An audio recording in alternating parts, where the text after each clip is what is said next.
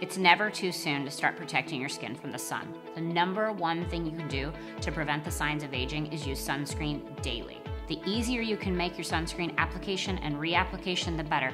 We've done it for you. The Sunforgettable Sunscreen Brush is your brush on alternative to traditional sunscreens.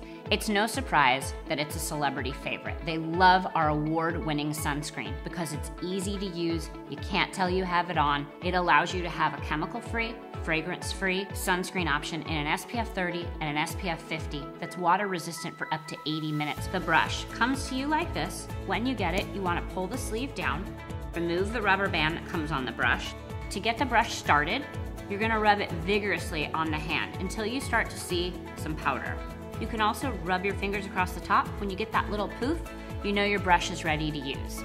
You wanna do small sweeping circles across the face, head, ears, neck, décolleté, back of hands. It can be done directly on bare skin. It can also go right over your makeup and acts as a simple makeup touch-up.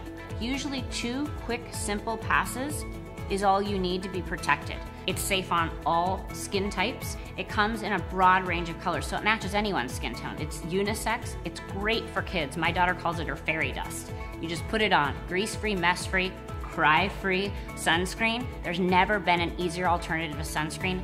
You found it in this magic little wand.